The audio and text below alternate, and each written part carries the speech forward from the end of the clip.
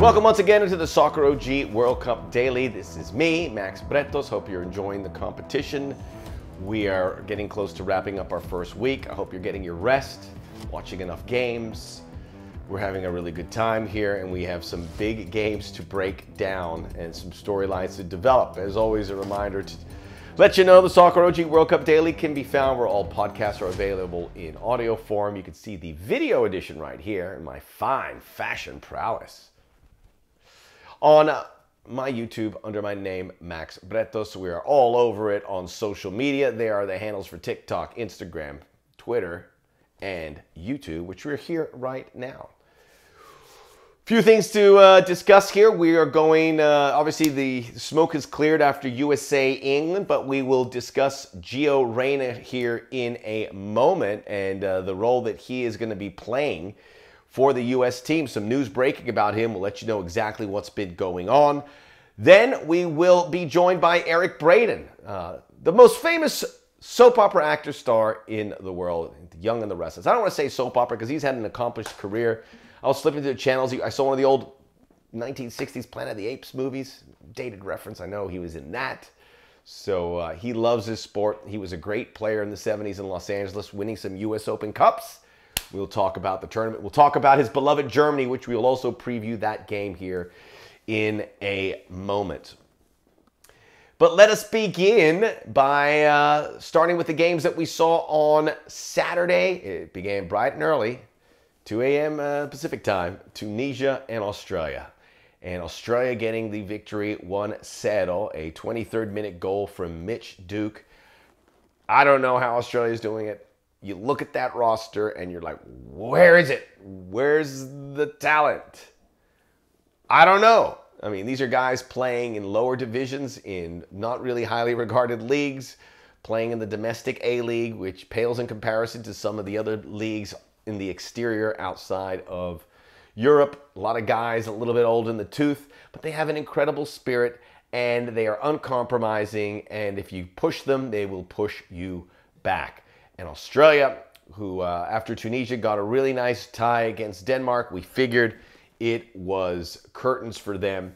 And now they, uh, now we have to see if uh, Tunisia can salvage this because Australia just need a point in their final game to classify for the round of 16. That's incredible to say. But I'm sure Tunisia and Australia, when they saw this group, looked at each other and said, we can beat them. And if we can beat them, we have a shot because Denmark dropped points against Tunisia, Australia's in really good shape. Really nice moment. Mitch Duke, when he scored the goal, it was a, it was a weird goal. Uh, cross was deflected. It just sprung in the air and he headed it home. He made like the J sign. I don't know if I'm doing it correctly. It was like a J sign, but it was for his son, Jackson, in the crowd, and the camera caught him doing it. It was a wonderful, tender moment. So uh, the Australians who love their sport there was images from Melbourne where the place went absolutely bonkers. Th- thousands of fans, and you wonder with that kind of rabid support, why can't they get? They need some investment there. You know, Australia loves their sports, but they have their own sports. They have Australian rules.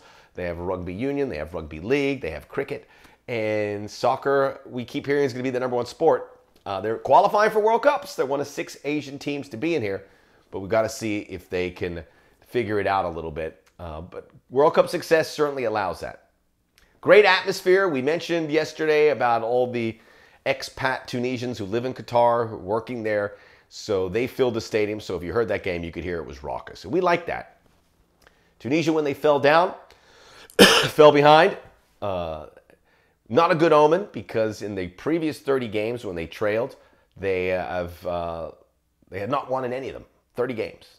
Some good chances for Tunisia. Yusuf Msakni, Isam Jebali, but they couldn't convert. Tunisia's kicking themselves. Missed opportunity.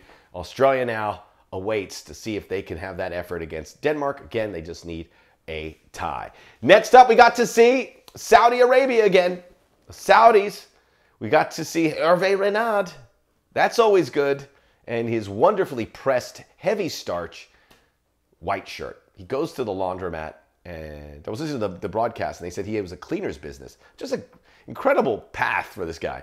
And his shirts are just like, they go, would you like some starch in your shirt? He goes, yeah, heavy starch. Because it's like, it looks good, but you know, when you wear a shirt with too much starch on it, it's like a little itchy. We're not talking about dry cleaning, though. We're talking about uh, Poland, who are a favorite coming in here. Saudi Arabia, you can't underestimate this team. They uh, they took it to the Poles. They were the better of the teams.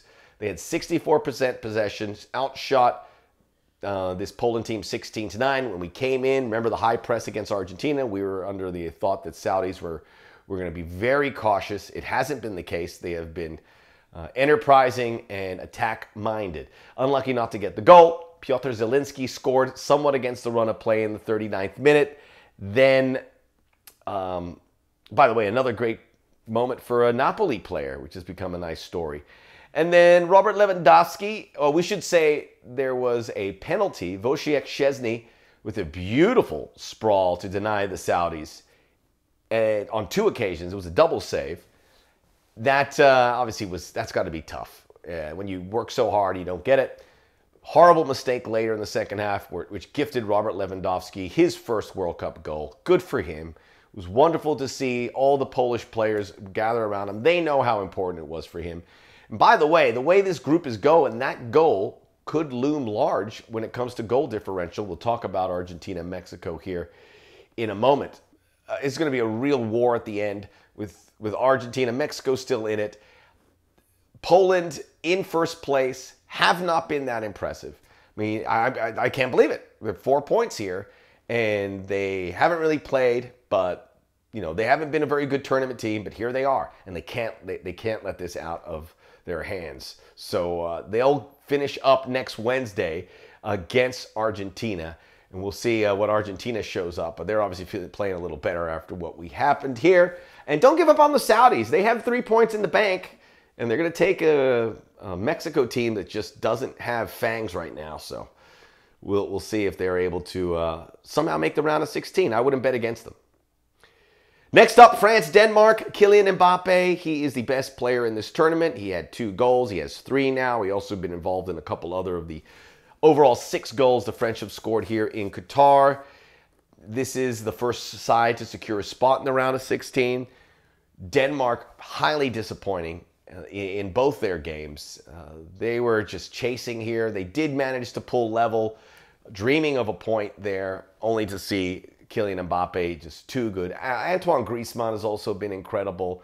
He's he's he's been okay at club level the last couple years, but with the national team, he's been something else. I think some people would say, is there an upgrade for Griezmann? No. Didier Deschamps knows that. He is just too good, and that's what he's going to be there. This response by the French in, over two games shows you that they are uh, serious about repeating. We see these reigning champions always struggle. Uh, this has not been the key for the French national team. Maybe that hurdle awaits them in the not too distant future. I doubt it will happen against Tunisia in their final game, uh, but it doesn't matter. They should win the group.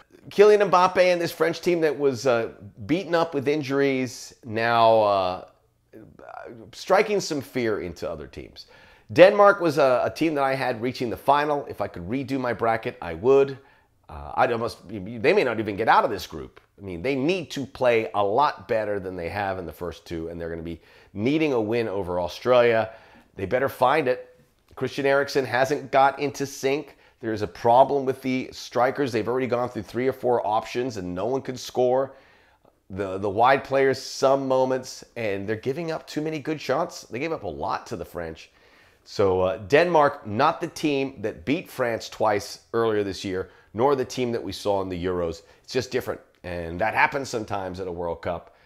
And this Danish team, which uh, you know they didn't hide from the fact that they felt that they were a team could win it, just don't look the part. Just don't look the part. They probably make the round of 16. They probably beat Australia, but it's going to be short-lived. Famous last words. Finally, Argentina, Mexico. Mexico, Argentina has been their bogey team in World Cups. They have one win in their last 18 games versus the Argentines. Argentina looked so flat. Even into this game in the first half, there was panic mode. I had never seen so many uh, histrionics from the sideline. Lionel Scaloni, there's a video of Pablo Aimar, the assistant coach, going, oh, like, like they're, they're crying. Like all is lost. Argentina were on the ropes. If they had lost this game, they were out of the World Cup. Tata Martino is going to be uh, in the crosshairs here. fielded a very defensive side. Five defenders, did not start Edson Alvarez. Edson Alvarez, in fact, didn't get into this game. You could argue Edson Alvarez is the most talented Mexican player. Hector Herrera, Andres Guardado, just really old players coming in. I will say uh, they Guardado played pretty well before he got injured, and Herrera was okay, but at the end he needed to get out of there, and he was on the hook for the Lionel Messi goal. Messi had disappeared. We were re- I was ready to tell you here and just grill Lionel Messi for fading in a big opportunity. But there it was. 30 yards out. Hector Herrera backs off of him. Messi hits it. Doesn't hit it all that hard. I don't think Memo Ochoa saw it, saw it. Goes into the back of the net. Wasn't that well taken. It, it was nice from Messi, but I would imagine Messi hits those. He thinks that's going to be saved. Instead, it goes in and it changes everything. Argentina grow into the game. They brought in Julian Alvarez. They brought in uh, Enzo Perez. Those two guys were huge. Maybe they get, play a bigger role here. You look for the hot hand. And now everyone is uh, looking at Argentina to fix things and right the ship and go back to the top of Group C. I'm still a little reluctant because Argentina, for long stretches here, looked shaky. Several players looked shaky, and that is worrisome. Um, again, Messi did nothing with that for the longest stretch. And uh, but Mexico is Tata Martino mistakes. He, he made bad substitutions. Again, if Argentina's jury's still out, Mexico, it, they're not going to make the round of 16. They have to beat Saudi Arabia by a couple goals, and they hope that Argentina blows the doors off Poland. Or if Poland wins that game and Mexico's able to pop in front of Argentina as well. But Poland's not going to play to win against Argentina. They're going to play to tie them because they know what they need to do to get through the group. They're not going to, you know, that's not Poland. It's about getting the group, even if they have to sacrifice winning the group. It's about making it to the round of 16, and that group is very tightly packed. So huge disappointment from the CONCACAF teams, as we've talked about. Uh, they're not scoring goals. Mexico has not scored a goal. Uh, this is not going to go well south of the border. We're going to preview the games for tomorrow. Before we get that, wanted to talk about Gio Reyna a little bit. It is a story that's developing around the U.S. camp as the smoke has settled here from the USA England game. Eric Wynalda, who's been a guest on this show, did uh, have some comments, and these are not confirmed that he's been speaking to Gio Reyna's dad, Claudio, when they've had conversations, they're upset about Gio not playing, that there may have been a fallout between Greg Berhalter and Gio Reyna. Again, some other people may be saying it's not confirmed. Uh, if it is something that's happening, it's par for the course, really, with the World Cup. We see this all the time. You know, players and coaches maybe not seeing eye to eye, and it's cost the player in the big picture of things. I think we saw something like that with Greg Berhalter and John Brooks, which saw his kind of demise on the national team. The question with Gio Reyna, and you could say he's one of the two or three best American players. You could argue he is the most talented American player. But the question is, where do you put him? Yes, the U.S. needs goals. They have scored one. But they're coming off a, a game that they should have won against the Welsh, and they improved in that second game against England. So there are a few places you could play him. A, where Tim Weah is it doesn't quite work because Tim Weah has been great, and he is that guy who gets vertical, and the U.S. needs that to extend the field to make space. I mean, I was watching that England game, and these guys were flying. It was exciting. Play him at number nine. Hasn't really happened. That's an experiment. I don't think you do that here at the World Cup, even though we haven't had any production from Haji Wright, Josh Sargent, or Jesus Ferreira, who is not featured here, but in the World Cup build-up coming in. Do you play him in midfield? Maybe, but Weston McKennie, Yunus Musah, Tyler Adams were the stars of that England game. You don't mess with that. You want to keep that trio in place for the duration of this World Cup. Weston McKennie hadn't been 100%, but you hope he's getting closer to playing 90 minutes. You put him in for Christian Pulisic, maybe. Those that's a similar position, but Christian Pulisic, unless he can't go, is going to start. So right now, Gio Reyna is a luxury player, so we can scream and yell about why he hasn't been used, but I ask you this, where do you play him? I will, I will argue that and I'll win this argument every time. Gio Reyna, unfortunately, is a luxury player at this point, and we, we hope he gets his moment. If they advance to the round of 16 and beyond, then they will have that chance, I can guarantee you. He seems like a very uh, practical type to be in this Iran game to break down defenders, but you don't mess around with things right now. The question is maybe do you bring him in sooner than Greg Berhalter did against England? It was like the 77th minute. I like the way the U.S. was playing. I was okay with not having subs. So you leave that there. So this is going to be an issue. U.S. is going well. You want to clear the negativity, but the Gio Reyna situation, I, I understand why we're talking about it, is out there, and we got to grin and bear it. So there you go.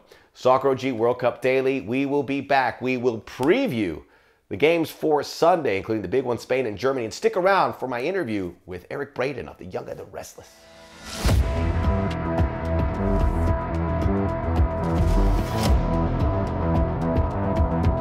Before we move forward here on the Soccer OG World Cup Daily, a reminder we are presented by Farmer John. Start your morning whether you're getting up on the East Coast at 5 a.m. or on the West Coast at 2 a.m., maybe a little bit early, with some of their fine products, including bacon, which is such a resourceful food. I had it this morning, I kid you not. Farmer John sorting it out. Some nice smokehouse bacon, a couple fried eggs, and a nice piece of toast, and a cup of coffee. Life is good. So, highly recommend it. I see some people are already getting some. Uh, you won't regret it. It's very good. Group E, Group F in uh, the crosshairs tomorrow begins bright and early with Japan, Costa Rica. Costa Rica was, uh, how do we put it? An embarrassment. 7 uh, 0 loss to Spain. When you see that result, you think of a very short list of embarrassing World Cup fixtures. You think of Brazil beating, or Germany beating Brazil 7 1, but that's a bit of an outlier. That was just a freaky game that you can't put your finger on it. Or maybe more appropriately, because it's a CONCACAF team, Uh, Hungary beating El Salvador 10 to 1 in the 1982 World Cup. Saudis took a big loss, I think it was 2002 or 2006 to Germany. So this is weird to score that many goals. It just doesn't happen in the World Cup. And you've seen the big shots and the minnows, how it's usually a goal or two in it. Very rarely does it get beyond that. Luis Fernando Suarez, the Costa Rican coach, said he will make changes to the starting 11. He says it's not about names, it's about attitudes. Obviously, you have to shake it up. Uh, even some guys you may like, you got to maybe move them out because they were shelled like that. They didn't touch the ball against Spain. The uh, the Costa Ricans, uh, part of this World Cup effort from CONCACAF teams, uh, was it's been bad. It's been weird. It's a fine line. So the, except for Costa Rica, it, the, you've seen bright spots from the US, you've seen bright spots from Canada, a couple bright spots from Mexico, but in six games played up till now, only one goal between those four teams over those six games. Some goals that need to be scored. Hopefully, on uh, tomorrow by Costa Rica and Canada. Uh, Japan, uh, as you know, I'm a big fan of. They uh, defeated Germany coming from behind. And uh, now this Japanese team has to make sure that they don't put their guard down. If they win this game, they are in. They're supposed to win this game. Uh, the sports book keeps it pretty close. And I th- it's not going to be 7 0, I can tell you. It's going to be close. Costa Rica will be competitive here. They're going to like their chances against Japan. Now, if Japan let their foot off the, the pedal here, uh, their spot in the next round is in major peril. Can't lose. Even a tie, depending on what happens on the later game, you got to be a little bit worried. Uh, I'm confident the Japanese won't allow that to happen. They're just way too talented. Maya Yoshida said about the spotlight is on us, and after the last game, we have to make sure we don't dance badly. Is that like a lost in translation? We don't dance badly in the Japanese translation. Hajime Moriyasu, the manager, who I thought was a rock star in the win against Germany, as I said on the show, he in the second half with the adjustments, he all the subs he made were good ones. It changed the game. He outsmarted, outcoached Hansi Flick, who is uh, regarded as one of the two or three best managers in this tournament. But Moriyasu said Japan wants to build its own style by also learning from other countries. And I'm glad he said it there because there are some teams in this competition that aren't European, but look at Europe for their lead Japan is one. Uh, Morocco, I'll talk about them in a little bit, is another. They want to be feel like a European feel because they know it's successful. So they have a lot of players in Europe, and when you see them, it feels like they they can seamlessly compete with the European clubs. Japan is one of them, very specific to the German style. Uh, they've mentioned how grateful they are to German football. So uh, the bench is in Japan's favor. This will be close, and I I want Costa Rica to do well, but I really I don't want Japan to blow this opportunity because I think if they make the round of 16, shoot, maybe they win the group. Uh, they probably won't, but they get into the round of 16, they're going to be a very tough opponent, and they will add a lot to this tournament. Belgium, Morocco. Morocco tied Croatia, scoreless 90 minutes. Belgium beat Canada, even though Canada were just a better team. Uh, missed a penalty. Uh, Alfonso Davies, we talked about that. Uh, John Herdman allowing Alfonso Davies to take a penalty, even though um, he doesn't take him for his club. By the way, if you're a Bayern, you're way down the pecking order when it comes to taking penalties. So maybe there's nothing you could avoid with that. With Tunisia losing African hopes, the ball falls into Morocco's court. I think it's the best bet. I feel Morocco can run with Belgium based on what we saw, although Canada was a better matchup because of the way they play, because of all the attackers they can throw at a, a slower Belgian backline than what we will see with Morocco, who like to come out wide a little bit more and they'll be a little more conservative. Uh, it's not as good of a matchup. Uh, Canada's weird. We'll talk about them and why, why it's a, a, really good addition here. Uh, these two played in 1994 World Cup, Belgium winning 1 0.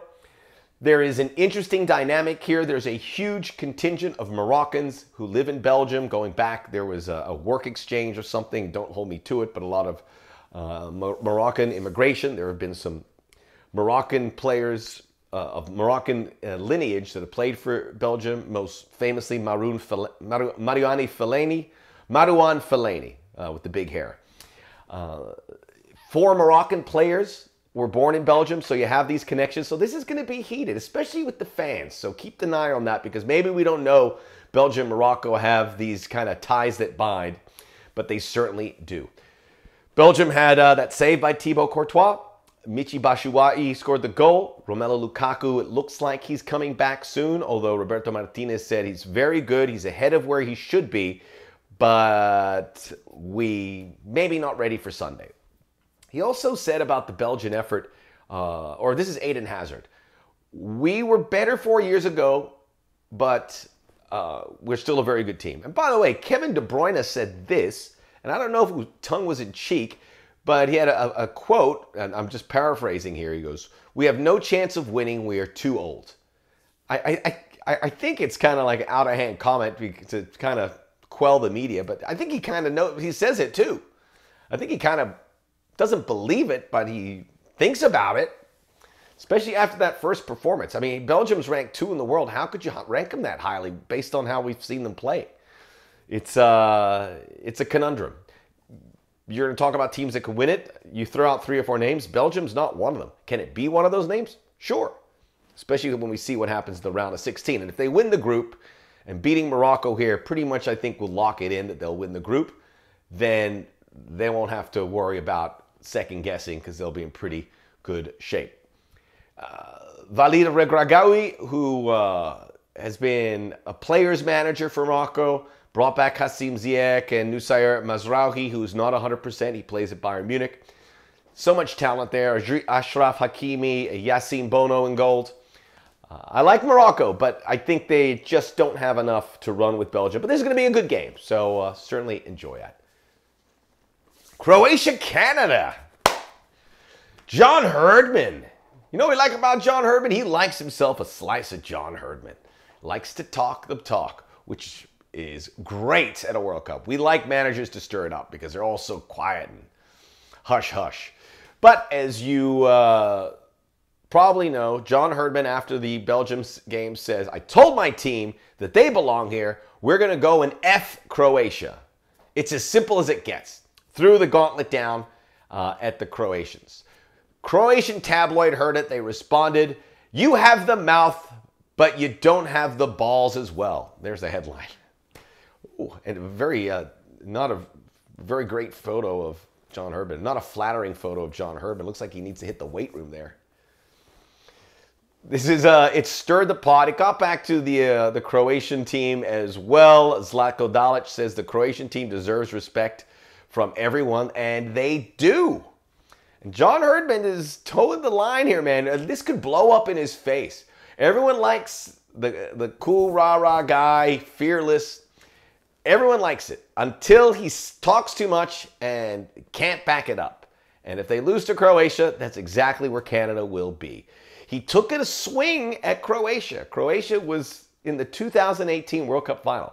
That is an elite team. If you take a swing at them, you better connect.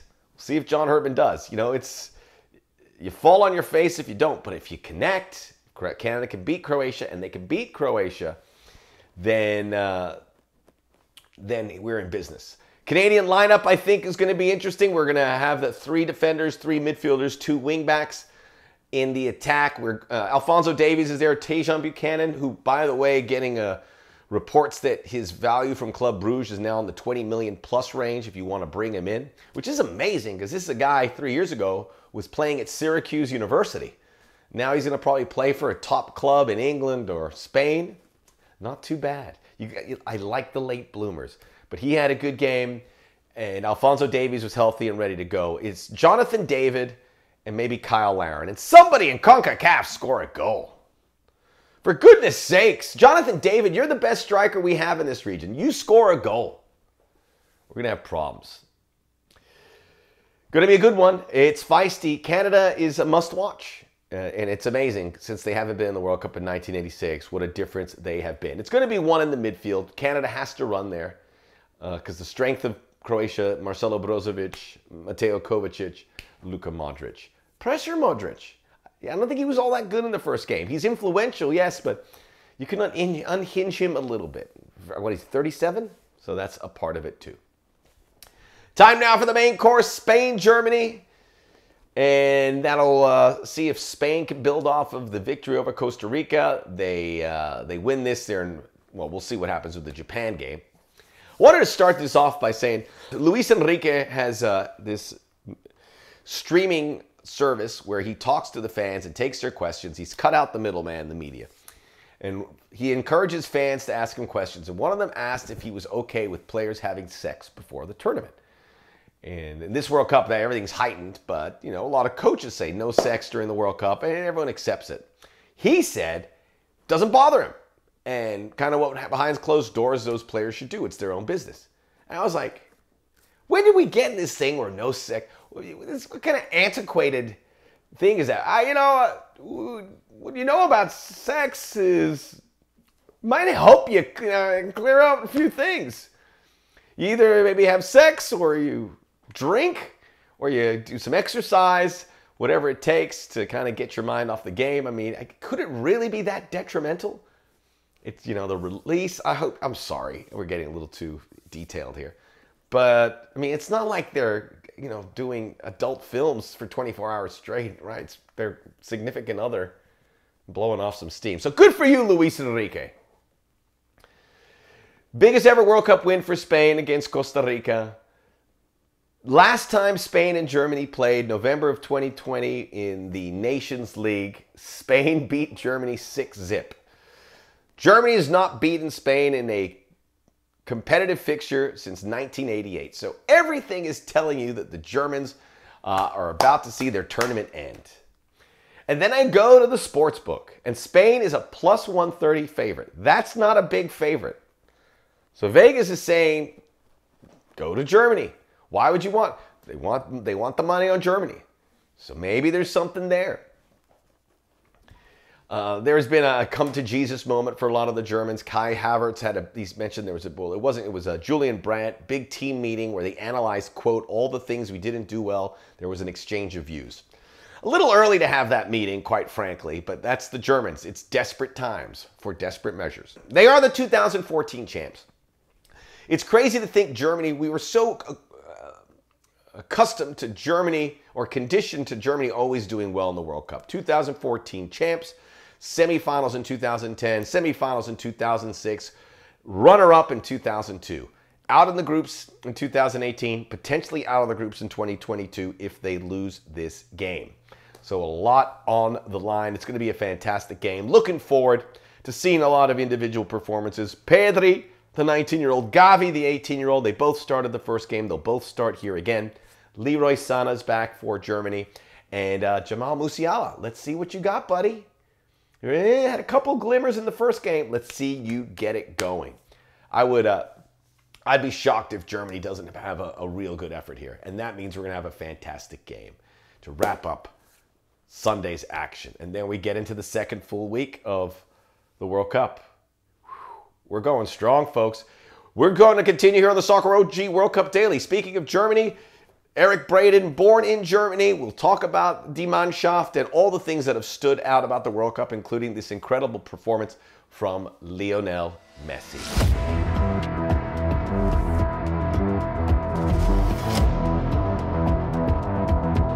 Hello, Eric. Uh, great to, to be chatting with you. I know you've been um, watching these games thoroughly, like I have, and we just watched Lionel Messi.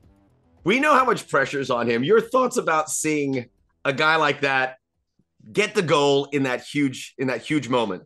To be honest with you, it it it it really almost moved me to tears, and it, it he is so deserving of it.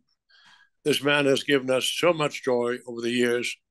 He and and Cristiano Ronaldo, and obviously a number of other players, but Messi, most of all, unbelievable. I mean, unbelievable. I've been around soccer for 60 or 70 years now, and I've really never seen anything like it.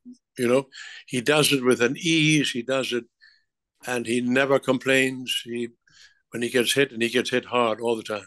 You know, they're after him. I played defense for many years. We would we would aim for guys like that, you know. so he is he's a tough guy, and what a wonderfully humble human being, you know. I want to talk to you about that because you uh, you were a, a big time player in the Los Angeles area, and this sport has changed so much. How have you seen it? Not just as a being as a player, as a spectator watching World Cup games. Um, what what are your thoughts on the growth? Well, the um, you know I, I won the U.S. Championship in 1973 with the Maccabees for the first time, and they won it five times, the most of any other team. That was anyway, US Open Cup. I am so happy about how America's accepted soccer and how it's evolved here, because I remember from the very beginning. I remember the guy who started the AYSO, American Youth Soccer Association. That was in 1964-65, Hans Stierle. I remember when he came to us on the field at Jackie Robinson Stadium and said, I'm going to start a new league called the AYSO both boys and girls play. We laughed at him. We said, well, good luck. Well, the rest is history. And the American team, to see them, I tell you, it, it really moves me. I mean, they are damn good. And they should have beaten England, and they should have beaten Wales, should have won both games. It really, I, I must say, it, it touched me deeply.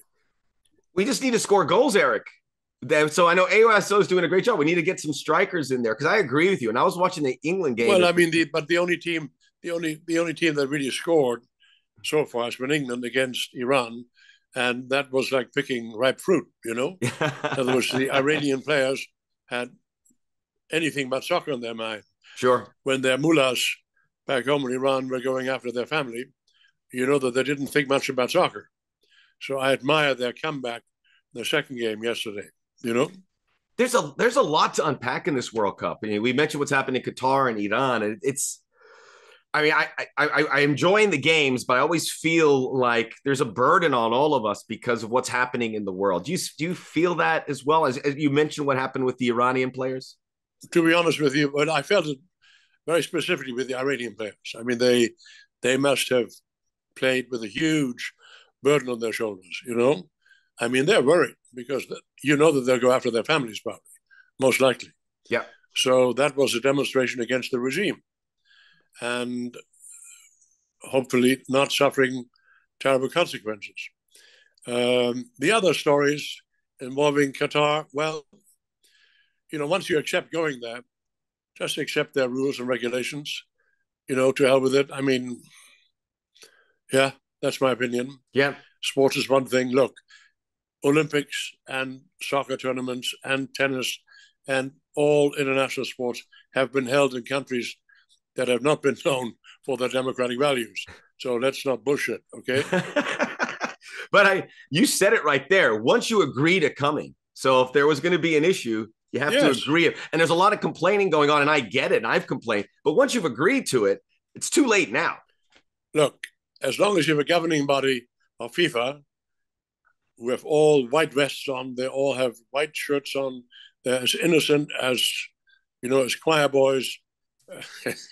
when, they, when they gave that World Cup to Qatar, you, and first to Putin and then to Qatar, you knew you knew some Swiss bank accounts were getting bigger and bigger. And, and, and now Gianni Infantino is mentioning North Korea in 2030. So, it, I mean, who knows? Who knows what's next? I don't know how you can top yes. that. Uh, your rooting interests are with Germany. We know that uh, a tough one against Japan. I thought the Japanese were inspiring. Big game coming up against Spain. I think that's one of the big games in the groups. Uh, your uh, your hopes for this German team from one game to the next. Well, I obviously hope that they will win, but that is a that's a tall task to be honest with you. Yeah, you know Germany doesn't have a bona fide striker, and uh, but I think as a team they play damn well. They have almost dominated every game they've played in, but they can't finish. And the Japanese threw everything, all their sushi, all their kitchen sinks, they threw at Germany.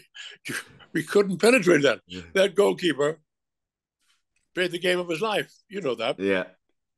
And they're very tenacious. They are very quick. They're difficult to get through in the defense. You know, smaller teams are very difficult to penetrate in, in the 16 yard area. Very difficult because they're quick and they change direction quickly.